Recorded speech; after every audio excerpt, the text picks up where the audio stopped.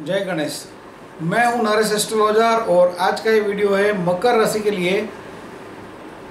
अगस्त 2017 कैसा रहेगा उसके बारे में सबसे पहले बात करेंगे आपकी राशि के अधिपति ग्रह शनि ग्रह के बारे में। तो शनि जो है आपकी ग्यारहवें स्थान में चल रहा है, जो आपके लिए बहुत शुभ है। बिज़नेस में, कारोबार में लाभ करने वाले हैं। प्रिडिक्शन में अभी बात करेंगे सब ग्रहों की ट्रांजिट के बारे में, लेकिन इससे पहले बता दें कि ये प्रिडिक्शन जो है वो चंद्र राशि आधारित है। यदि आपके जन्म के चंद्र मकर राशि में हैं तो ये प्रिडिक्शन आपको असर करने वाला होगा। और यदि आपके जन्म के सूर्य भी मकर राशि में है, यानी कि कोई भी साल के अंदर 14 जनवरी से 14 फरवरी के बीच में आपका जन्म हुआ है, और जन्म के सूर्य आपके भी, जन्म के सूर्य भी मकर राशि में है तो भी ये प्रिडिक्शन आपको असर करने वाला होगा।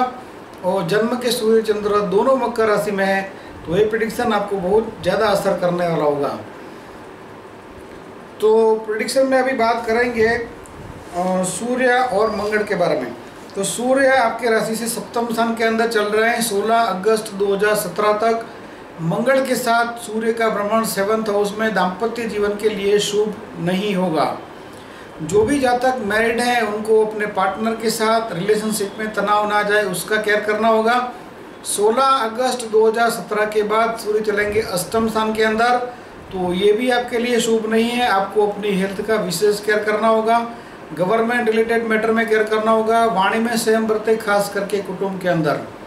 27 अगस्त से मंगल चलेंगे अष्टम स्थान के अंदर तो आठवें स्थान में अंगारक योग बन रहा है, जिसके चलते आपको खास करके वाणी में स्वयं बरतना होगा व्हीकल ड्राइव में केयर करना होगा।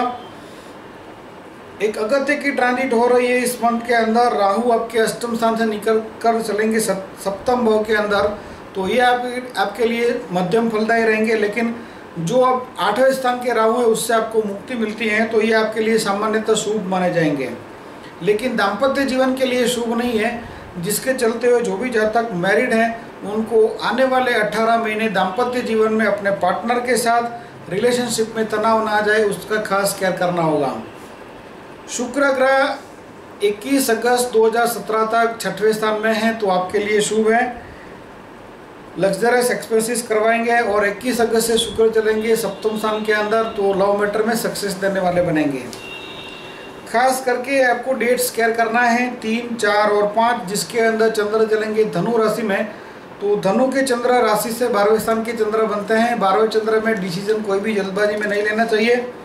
और डेट्स आपको केयर करना है 21, 22 और 23 जिसके अंदर चंद्र चलेंगे सिंह राशि में तो सिंह के चंद्र राशि से आठवें स्थान के चंद्र बनते हैं। आठवें चंद्र में आपको पानी से सावधान रहना होगा व्हीकल ड्राइव में केयर करना होगा और फैमिली एवं फाइनेंशियल मैटर में विशेष केयर करना होगा। यदि आपको ये वीडियो पसंद आता है तो लाइक का बटन ज़रूर दबाएँ सब्सक्राइब करें चैनल और अपने मित्रों को भी सब्सक्राइब कराएँ ताकि उनको भी ये प्रोडिक्शन का लाभ मिल सके। Thanks for watching